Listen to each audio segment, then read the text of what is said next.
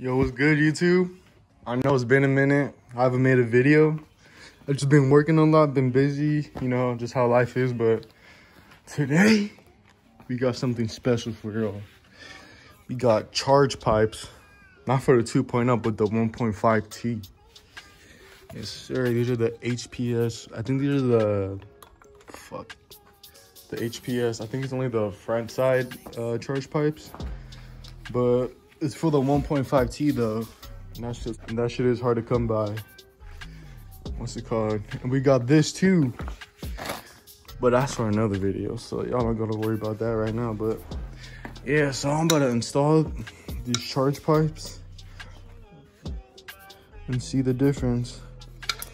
Since I'm in Cali, this shit filmed in Mexico though. But since I'm in Cali, uh, you can't can't get these orders to ordered to Cali. So I just bought them used, awesome fool. But yeah, so I'm about to install them right now, show you guys the process and show you guys the results after. So peace. First step is to remove the clip. My shit fucking fell through.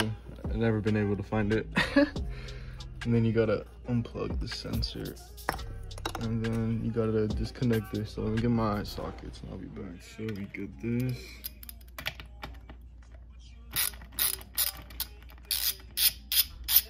You don't gotta take it completely off, but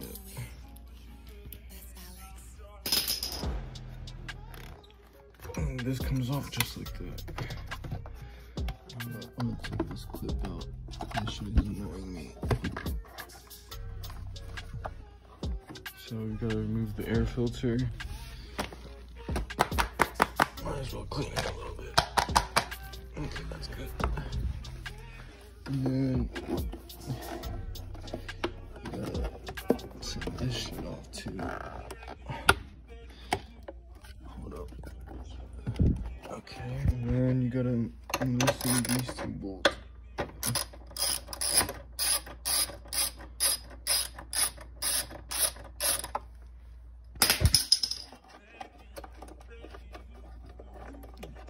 Just loosen them loosen them up, and take them out by hand so you don't drop them out.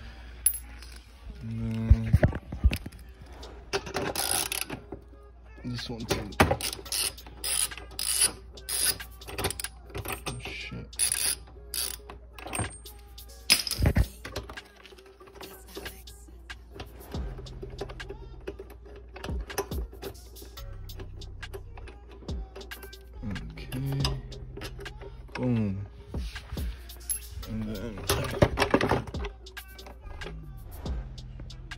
That. Next step is to unplug these two little sensors.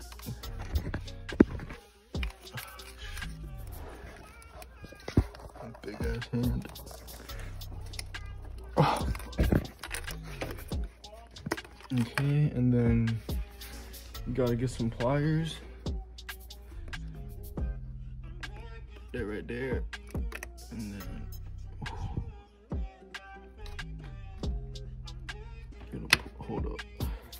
you gotta like wiggle it back and forth to get it up like that.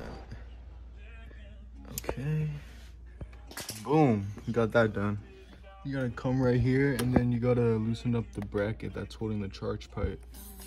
So it's this one and this one, if I'm not mistaken. So let me do this off camera and show you guys after. All right, guys. Make sure you guys take this, the breather hose off. This shit right here took me like fucking at least 10 minutes to get out. It was so fucking hard to get out.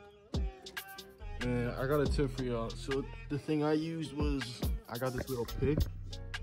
And what I did was basically just put it under the the what's it called the hose just to you know loosen it up because sometimes the heat can bond the rubber the plastic and shit so yeah after i did that it was a breeze but yeah bro make sure you take this one out too.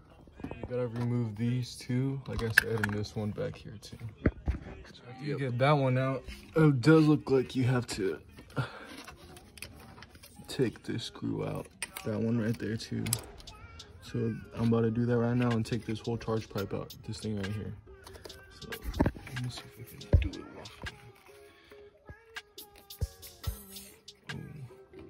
Make sure before you install the charge pipes, make sure your engine cools down too. Oh, come on, you fucking bitch.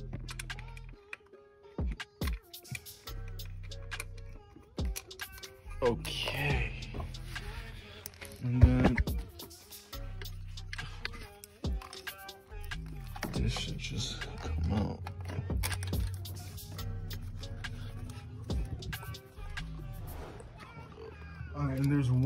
Hidden bolt.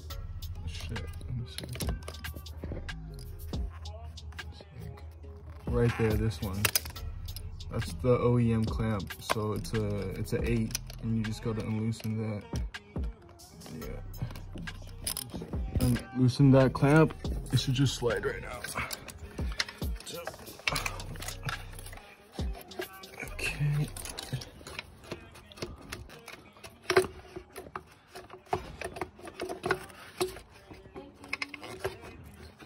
Bye. No, I'm okay. Boom charge pipe. Make sure you guys take this hose off too. Don't forget. So I'll loosen this up. This is a 10.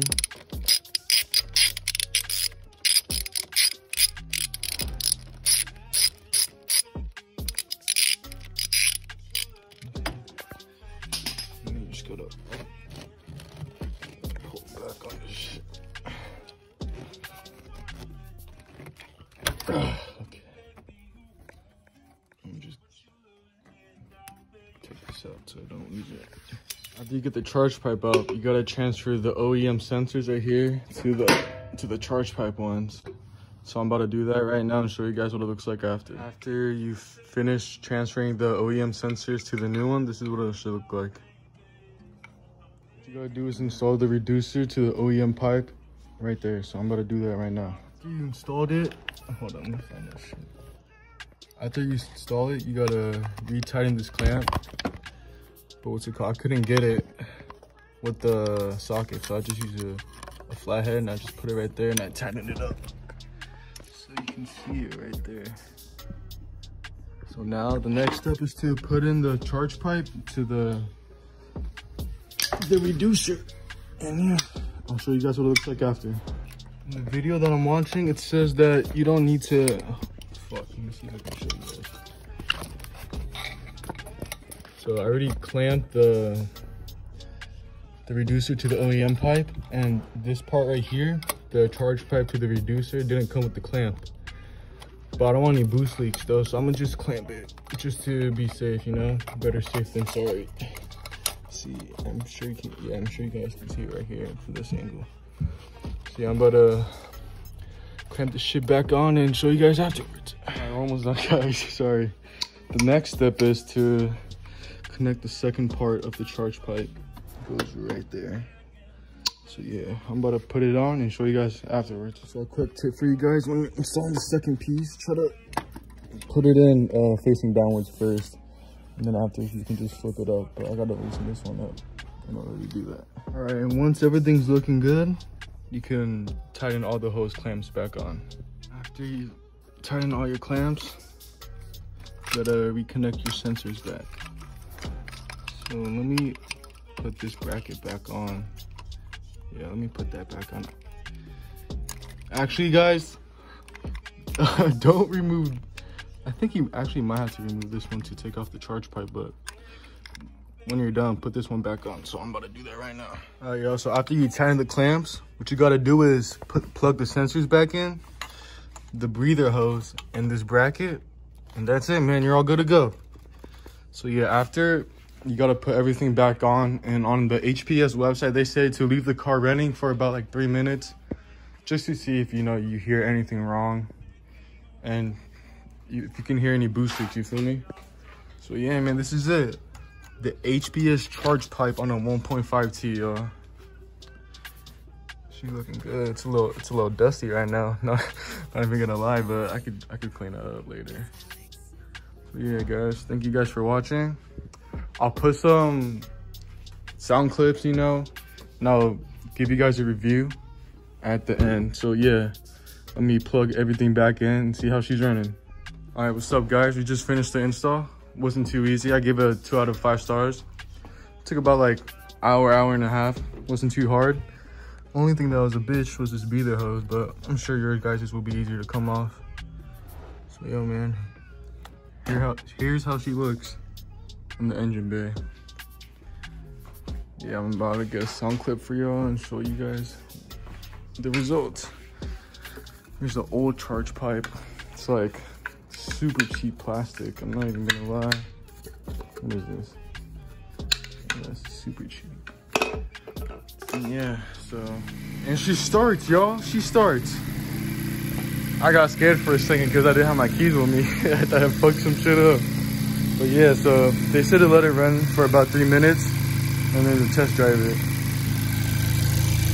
So I'm not hearing any boost leaks, which is good. So yeah, let's see. In about three minutes, I'm, I'm about to give it a test drive. All right, what's up guys? So we ran into a little problem here. So I was test driving it and I had a boost leak. And I found out that the, the coupler to the OEM pipe, I didn't tighten the fasteners all the way. But now, it's all good, no boost leak. Now she low key, she pulls a little bit harder since this this only gives you like six to six, six horsepower and six torque. So, but yeah, so that concludes the video. Overall, the HPS charge pipe, it was, in my opinion, it was worth it. The install wasn't too bad. It was pretty easy. And yeah, I could definitely feel a difference with the charge pipe. Just a little bit though. And yeah, thank you guys for watching. Like, comment, subscribe.